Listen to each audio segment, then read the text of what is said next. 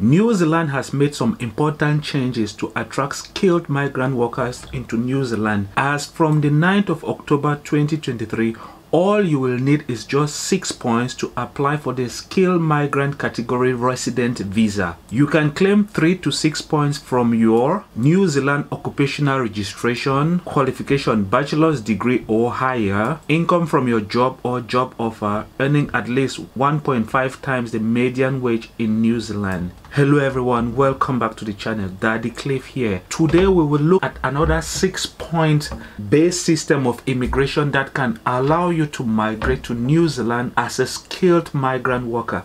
Last time in this video up here, we talked about the Chancen card in Germany. Germany is equally at the point of putting into place as from 2024 new laws that will require you to equally have only six points to migrate into that country and then look for a job. If you've not yet watched that video please you might want to click the link up there on the top right hand of your screen and watch the video to know about the Chancen card or the opportunity card that will enable you to travel to Germany and look for a job or in case you already have a job you can actually apply for a work visa to go and work in Germany. But today we will be looking at the case of New Zealand where they've equally implemented the same six point system which is even more interesting than Germany if you ask me. But before we get into the details of this new point system in New Zealand please if you know you've not yet subscribed to the channel. Why not begin by hitting that subscribe button and make sure you turn on notifications so that you will always be notified whenever there are opportunities like this to use your education to go and work in another country or maybe to have a scholarship to go and study in another country because that is what this channel the daddy cliff channel is focused on. Now let's get into the details of the new point system in new zealand by looking at the first one new zealand occupational registration. If you go down here you'd find New Zealand occupational registration. It says you will be able to use your occupational registration to claim points if it is on our list of eligible New Zealand occupational registration registrations that require more training and worth more points. This simply means that let's say you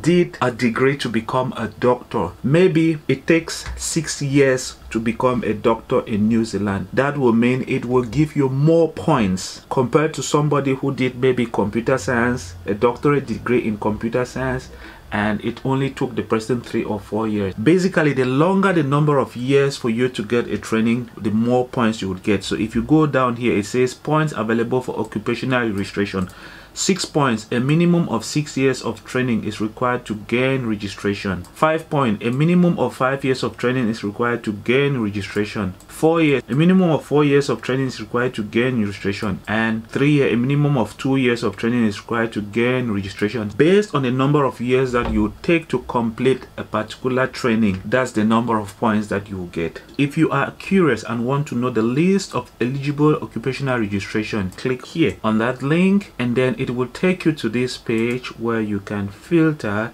health and social service search and then they will come out. All you need to do is click on this and then you will find the details. So if you take anesthetic technician you click details it will tell you points you can claim for. So basically that's how you can go about. If you are a chiropractor if you click details you'll find you can claim five points for that so that's how you can go about knowing the number of points that you can claim for the various eligible occupations next thing is qualification points you will be able to claim between three to six points depending on the highest level of qualification you have and its New Zealand qualification framework level. Basically, they are trying to say here that if you have a doctoral degree, there is a number of points that you can claim. If you have a master's degree there is a number of points that you can claim. If you have a bachelor's degree there is a number of points that you can claim. So just having a doctoral degree in any field they say level 10 doctoral degree will give you six points. You are eligible if you are a doctor. If you have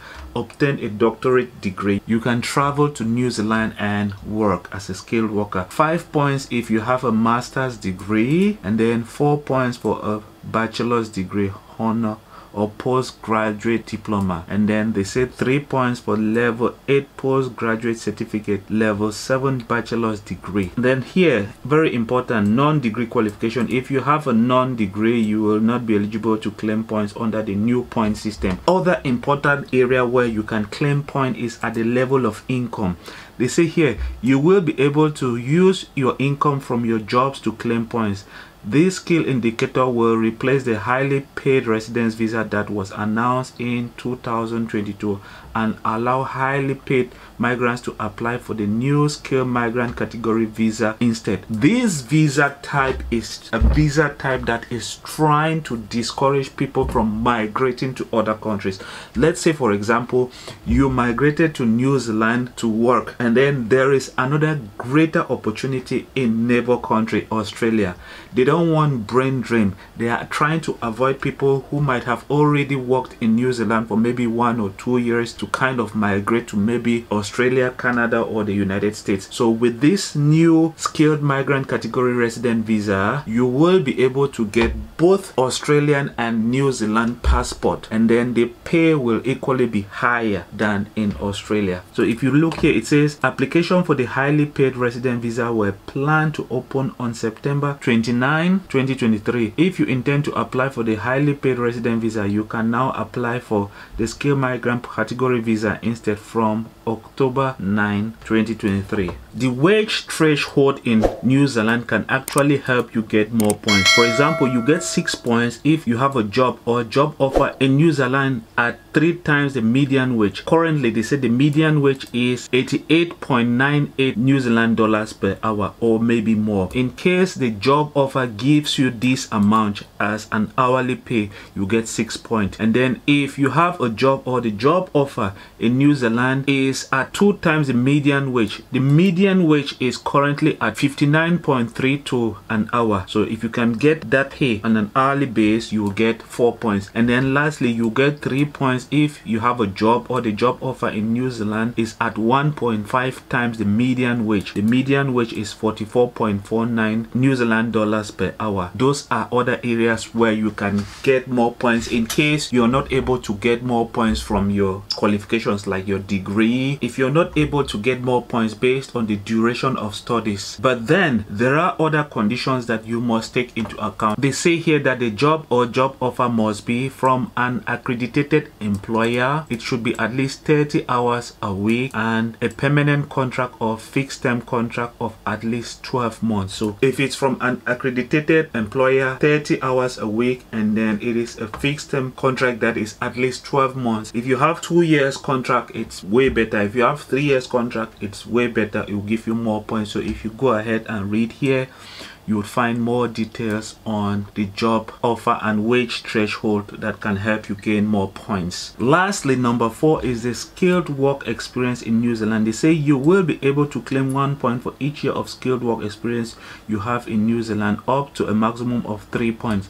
Basically, here they are trying to say here that if you can get a job offer in New Zealand, if it's a contract that is at least one year or let's say 12 months, you would get one point if the job contract is for two years or three years you would get extra points depending on the duration of the contract and then another thing is that it has to be a full-time job with at least 30 hours of work a week. The wage is also very important. Now, before we end the video, it is important for me to state here that the New Zealand Occupational Registration Point, Qualification Point, Income Point, Skilled Work Experience in New Zealand Point are not the only indicators that will help you to travel to New Zealand. There are some other requirements that are not changing to the new point system. They say some of the current requirements for the skilled migrant category visas are staying the same.